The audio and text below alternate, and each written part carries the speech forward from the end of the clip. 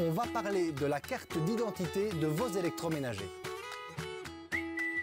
Bonjour à toutes et tous, Thomas de chez DefiTech. Le type et le numéro de série de votre appareil électroménager, peu importe l'appareil, c'est extrêmement important pour nous quand vous souhaitez commander des accessoires ou des pièces détachées. Je vous explique.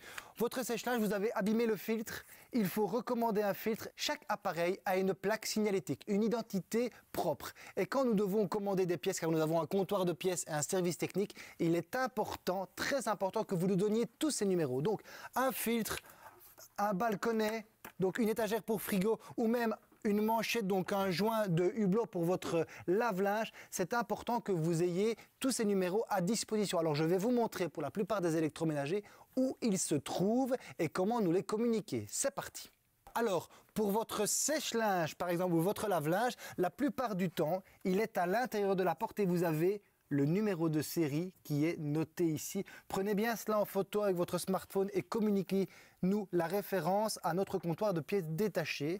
Pour votre lave-linge, c'est le même système. Il se trouve souvent au même endroit que votre lave-linge ou également sur le côté de votre port. Donc là, on peut le voir ensemble. FWGBE 81496 est le type de votre appareil et le numéro qui suit sont les numéros de série. Ces deux numéros-là sont très importants car d'un modèle à l'autre, vous n'avez pas les mêmes numéros. Votre réfrigérateur, vous avez besoin d'un balcon ou simplement d'une clayette ou d'une étagère. La plupart du temps, il se trouve dans votre frigo à gauche, vous avez la carte d'identité de votre appareil. Dans votre congélateur coffre, votre congélateur bahut, la plupart du temps, elle peut être sur la porte ou simplement, voyez, ici derrière, WHM, type et numéro de série est indiqué ici.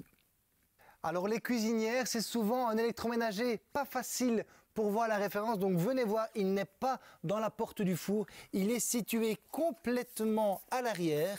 Vous avez ici, ça c'est pour une SMEG, vous avez SCB60 et vous avez toute la ligne qui correspond au numéro de série à nous communiquer si par exemple vous devez nous commander des chapeaux de brûleur ou des grilles. Surgélateur, congélateur, ça c'est pas toujours facile. Il se trouve pour la plupart en bas à gauche. Vous avez une plaque signalétique. Comme je le dis, n'hésitez pas à la prendre en photo et venir nous la montrer en magasin si par exemple vous devez recommander un bac de votre appareil.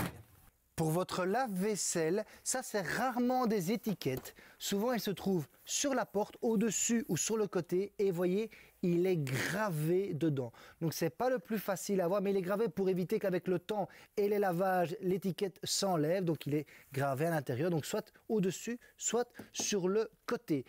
Les lave-vaisselle, je précise, c'est vraiment extrêmement important. Vous avez beaucoup de numéros différents, donc la qualité des numéros, type numéro de série complet est très importante. Si par exemple, de nouveau, vous avez un problème, on doit commander une pièce, on a besoin de ces numéros parce qu'il y a une panne ou simplement recommander un panier, car avec le temps, il a fini par percer. Alors, pour les petits ménagers, ça c'est toujours sympa. Ils sont soit gravés, soit en dessous.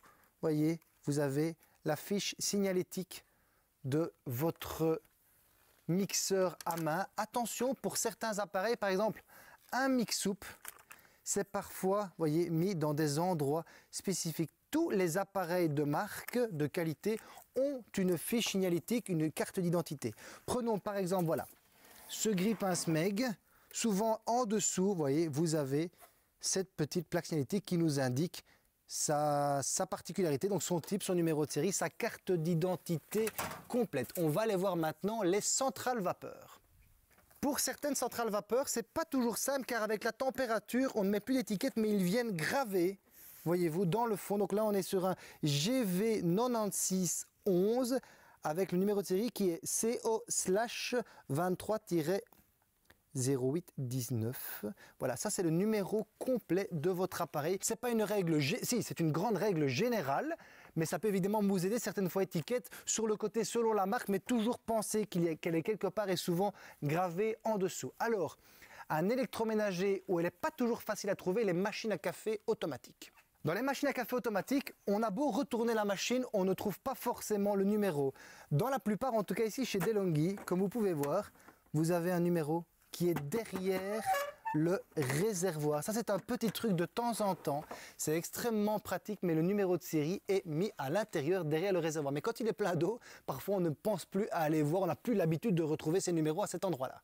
Ça, ce sont souvent des électroménagers pour lesquels on commande souvent des hélices, car c'est le petit Seb Valentin, appareil absolument extraordinaire fabriqué en France.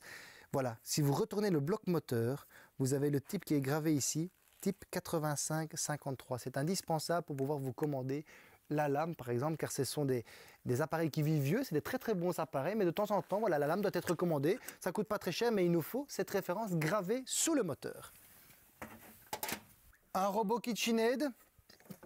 Voilà, vous avez en fait l'étiquette qui est gravée en dessous type et numéro de série complet. Donc oui, il faut des fois retourner son appareil, mais grâce à ça, on peut vous recommander des pièces et également des accessoires en cas de besoin, car beaucoup de numéros changent chez eux et une lettre ou un chiffre change le modèle.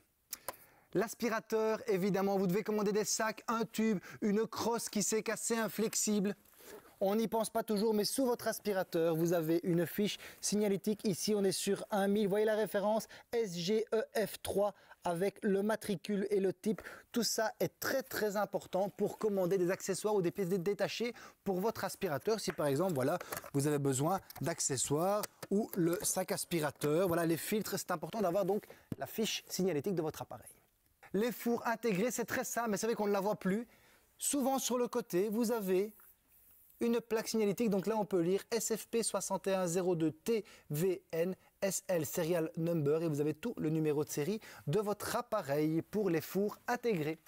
Les tacs de cuisson, c'est le plus compliqué car vous avez en fait la plaque signalétique qui est située en dessous de votre appareil, ici voilà. Donc quand elle est placée, elle est extrêmement difficile à aller chercher. Donc là, je vous donne un petit truc très simple. Quand vous placez une nouvelle TAC, simplement prenez la photo de la plaque signalétique et stockez-la dans vos archives, dans vos papiers. Ça vous évite simplement d'aller rechercher, de démonter la TAC ou d'aller mettre votre tête sous le tiroir pour retrouver si par exemple vous avez malencontreusement cassé le verre de votre plaque de cuisson.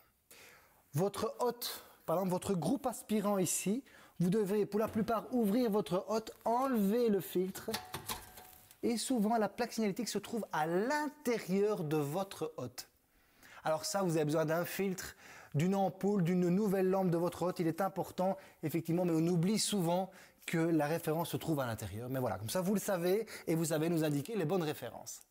Voilà, vous avez toutes les cartes en main, vous connaissez maintenant les types et les numéros de série de vos appareils, l'emplacement des plaques signalétiques pour la plupart de vos électroménagers. On a un comptoir de pièces détaché, un comptoir d'accessoires, également un technicien qui répare en atelier et à domicile. N'hésitez pas à nous contacter. Plus d'infos sur notre site de vente en ligne ou simplement passez nous voir en magasin. Merci à toutes et tous d'être aussi nombreux à nous suivre. N'hésitez pas à vous abonner à notre chaîne YouTube. Il y a une nouvelle vidéo tous les samedis matins à 10h. Activez la cloche pour des notifications partagées sur vos réseaux sociaux nous avons nos réseaux sociaux Facebook, Instagram, Pinterest et également Twitter. Abonnez-vous et à très bientôt pour d'autres vidéos. Ciao